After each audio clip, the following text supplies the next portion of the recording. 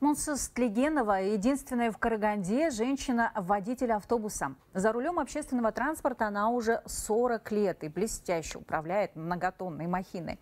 Дама-водитель регулярно получает благодарность от пассажиров. Коллеги ценят ее за профессионализм.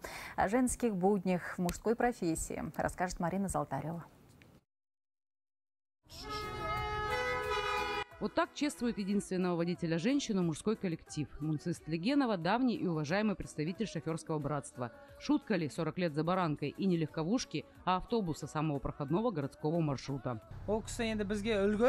Мунсус – пример для нас. У нее очень большой стаж, очень много знаний. Она охотно делится с нами своим опытом. Желаем, чтобы именно в нашем автопарке она доработала до пенсии и никогда не болела. В 6 утра Мунсис заступает на смену. После осмотра автобуса первым делом обогревает салон. Пассажиров встречают теплом и улыбкой. Они отвечают взаимностью хвалят за спокойную и комфортную манеру вождения.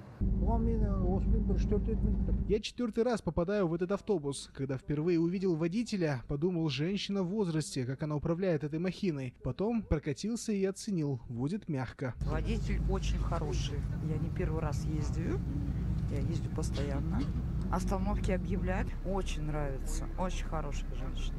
Мунцис родом из Актобе. Там она 10 лет управляла троллейбусом. За руль автобуса села именно в Караганде. Ранний подъем, 14-часовая рабочая смена и ответственность за каждого из пассажиров.